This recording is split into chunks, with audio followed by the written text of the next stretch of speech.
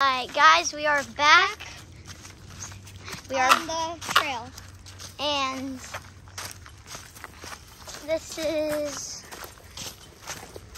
beautiful mommy and I love you. I love you Right? too.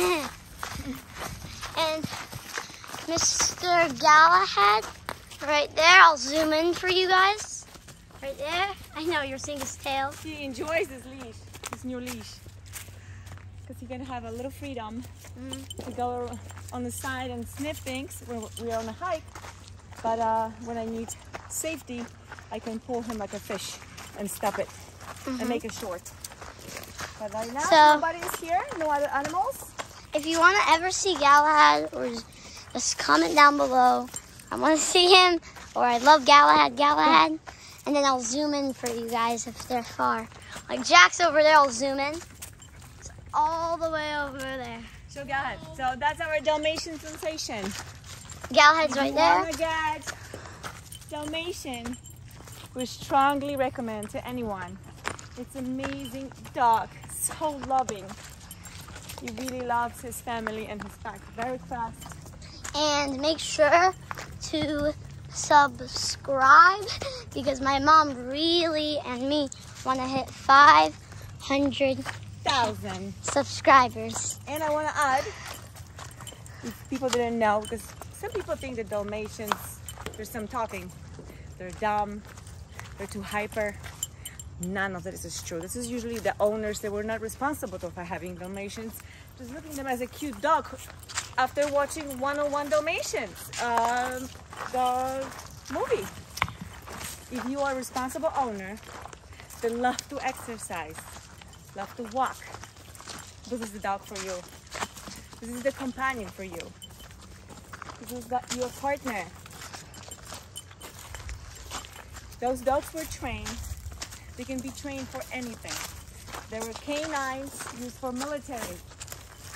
They were hunting dogs, guarding dogs, and everybody knows riding, uh, running around the carriages and protecting the horses so they stay on the path and won't be afraid of uh, fire.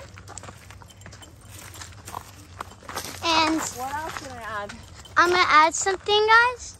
They are fire dogs. You know, fireman, fire people. We use the fire in the United States, but uh, in uh, in uh, 1800s, 1700s, they were used as uh, dogs in the nobility, riding around carriages. He's an awesome dog. So, the people that say Dalmatians are bad, they're stupid, don't listen to them. They're really good and love you. So, Yes, but you have to get the dog from a known breeder. That's a very important thing. That has passion about breeding them and is following from all the AKC instructions. So they have good temperament, beautiful coat, beautiful spots. As you can see, that's Galahad right there. it's worth sometimes to put a little bit, couple of hundred more, and have that really, really nice, good pedigree puppy, because it's gonna be your companionship for many, many years. And training, you have to train them right away when you get them home. And, it, and guys, if you don't train them, they will ruin your house. Correct. So I I'm I'm not just saying that to be funny. They actually Yes. will. Because when they ruin the house, it's usually when they miss their owner or they didn't have enough exercise. So make sure-.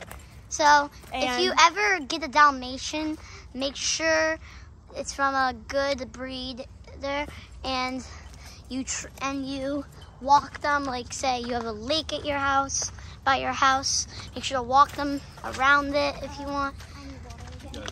And that's it. I'll see you in the next video. Short. Bye. Subscribe.